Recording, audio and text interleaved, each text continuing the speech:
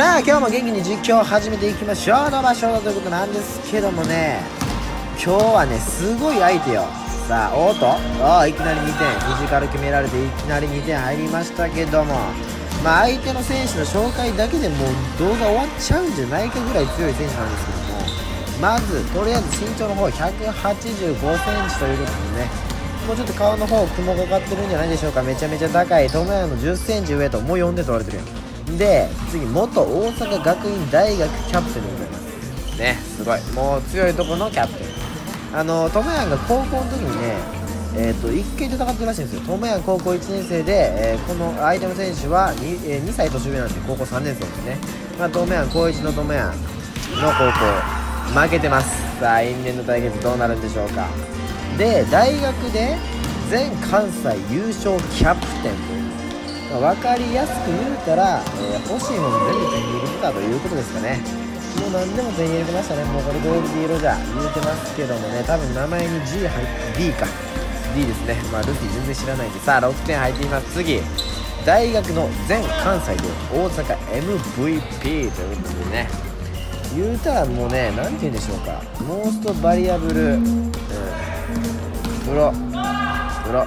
プロに近い。何ですかね。分かんないですけどまあ MVP の略はどうでもいいんですよ。もう本当に強いと。いうことです。ドメアもう2点入れてるんでね。でもどうなるかわからん。これマジ劣勢ですね。さあ次。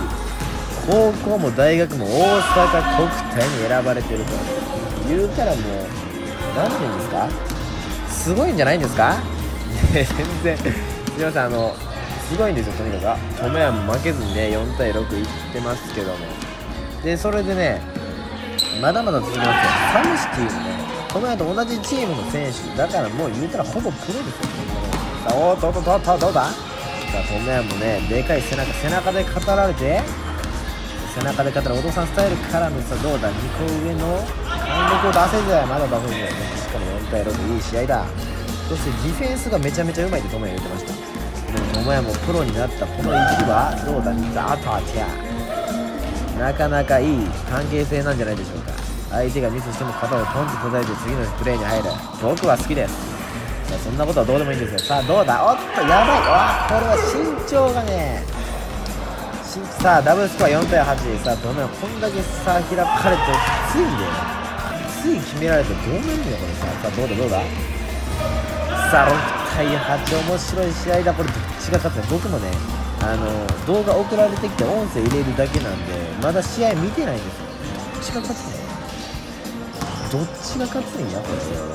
さあ相手は本当に幾多の試合を駆け抜けてきました。友也もすごいですさあどちらが勝つんでしょうか。いや勝ち負けじゃない。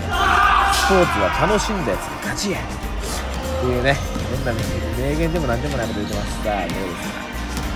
乙女来たくるっとくるっと回ったけど相手が呼ばれてる早手滝の名人おった。すごいね。でもどうおっとうわ。ちょっと待ってください。これ10点ってことは？え嘘だろ？と思ったらトムヤンが高校なんですか？何ですか？ここでトムヤンが決め10点追いつければ逆転勝ちですね。これ逆転勝ちあるかこれ。さあ皆さんこれトムヤンをね皆さんいつも相手選手頑張ると心では思ってるんじゃないでしょうか。トムヤン強すぎるから。でも今回は違うトムヤン頑張ってるの。おっとどうだおっと。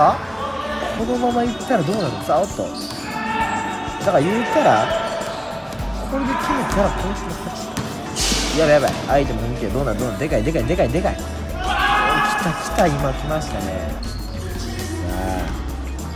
で決めて皆さん歴史の商人になる準備はできてますか？どうですか？そろそろ僕もボタンを押したいところですよ。どうだ来たいきますミュージックスタート。うわー素晴らしい。いやマジですごいね。すごい戦いでしたね。チャンネル登録よろしくな。かっこいいあの1回目はちなみに10ゼロだったやばかった